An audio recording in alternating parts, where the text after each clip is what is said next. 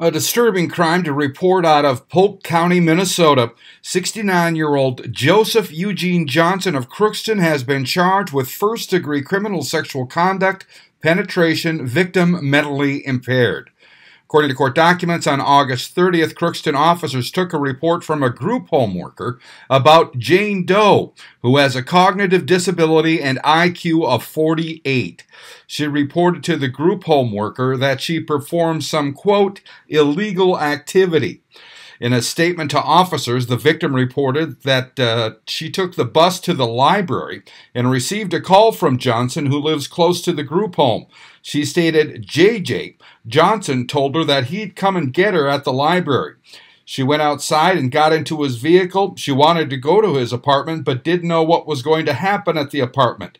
The victim stated JJ started taking off his pants and she was surprised and scared. She stated JJ told her to perform oral sex on him. Then he allegedly had or, uh, sexual intercourse with her. Forensic evidence, including DNA, was taken from the victim and Johnson and was sent to the BCA for analysis. The victim reported uh, Johnson engaged in three kinds of sex with her without her consent. Uh, she also stated she had never engaged in sexual intercourse before.